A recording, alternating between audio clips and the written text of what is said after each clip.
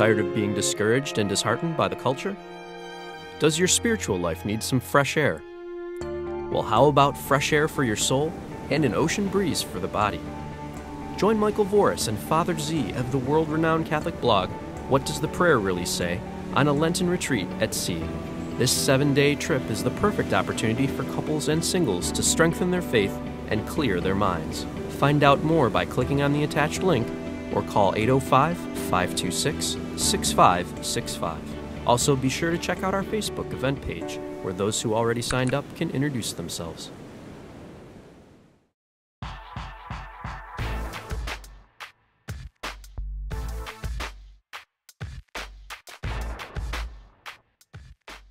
Hello, I'm Michael Miller. Rebecca is off today.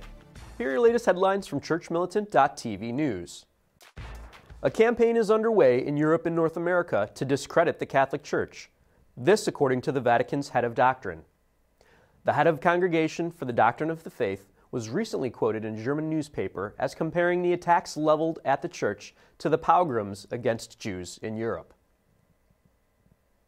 The British Education Secretary is stating that teachers who continue to tell students that marriage should be between a man and a woman will not lose their jobs or face disciplinary actions. The statement comes just before a House of Commons vote tomorrow, which is predicted to legalize same sex weddings in England and Wales. The New York Post is reporting that New York City schools have handed out over 12,000 Plan B morning after pills to students without parental permission.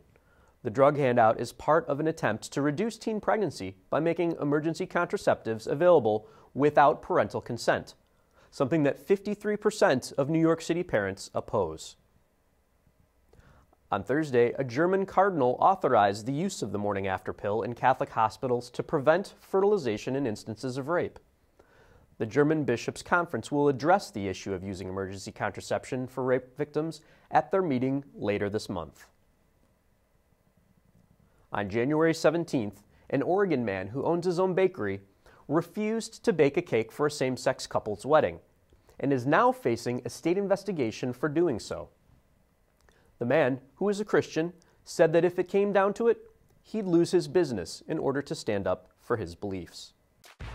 I'm Michael Miller. Those are your headlines from churchmilitant.tv. Make sure you check out today's Vortex, where Michael talks about rallying around the bishop. Thanks for tuning in today. Spread the word about us to your friends, and may God bless you.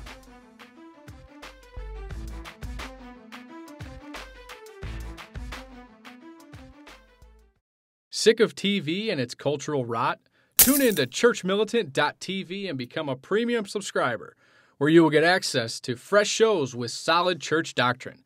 As a premium subscriber, you'll get hundreds of hours of programming, which includes investigative shows, catechesis, apologetics, church history lessons, and a lot more. What are you waiting for? Forget the bad television and dive into the riches of the Catholic faith for only $10 a month.